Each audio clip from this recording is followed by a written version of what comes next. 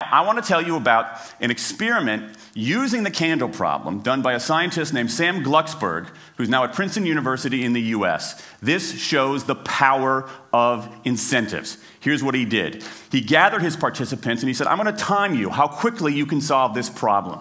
To one group, he said, I'm going to time you to establish norms, averages for how long it typically takes someone to solve this sort of problem.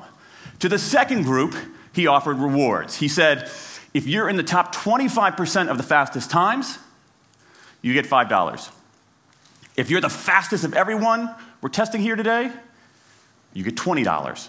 Okay, now this is several years ago, adjusted for inflation. It's a decent sum of money for a few minutes of work. Okay, it's a nice motivator. Question How much faster did this group solve the problem? Answer It took them on average three and a half minutes longer three and a half minutes longer. Now, this makes no sense, right? I mean, I'm, I'm an American. I believe in free markets. That's not how it's supposed to work, right?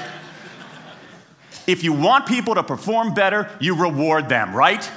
Bonuses, commissions, their own reality show, incentivize them.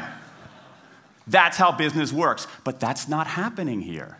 You've got an incentive designed to sharpen thinking and and accelerate creativity, and it does just the opposite. It dulls thinking and blocks creativity. And what's interesting about this experiment is that it's not an aberration. This has been replicated over and over and over again for nearly 40 years. These contingent motivators. If you do this, then you get that. Work in some circumstances, but for a lot of tasks, they actually either don't work or often they do harm. This is one of the most robust findings in social science and also one of the most ignored. I spent the last couple of years looking at the science of human motivation, particularly the dynamics of extrinsic motivators and intrinsic motivators. And I'm telling you, it's not even close. If you look at the science, there is a mismatch between what science knows and what business does. And what's alarming here is that our business operating system, think of the set of assumptions and protocols beneath our businesses, how we motivate people, how we apply our, our human resources. It's built entirely around these extrinsic motivators, around carrots and sticks. That's actually fine for many kinds of 20th century tasks. But for 21st century tasks, that mechanistic reward and punishment approach doesn't work, often doesn't work, and often does harm. There's a mismatch between what science knows and what business does.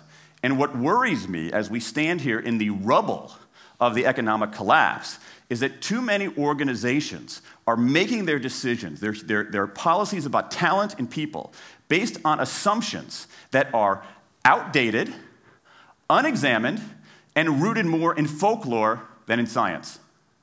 And if we really want to get out of this economic mess, and if we really want high performance on those definitional tasks of the 21st century, the solution is not to do more of the wrong things, to entice people with a sweeter carrot or threaten them with a sharper stick.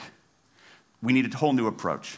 The good news about all this is that the scientists who've been studying motivation have given us this new approach. It's an approach built much more around intrinsic motivation, around the desire to do things because they matter, because we like it, because they're interesting, because they're part of something important.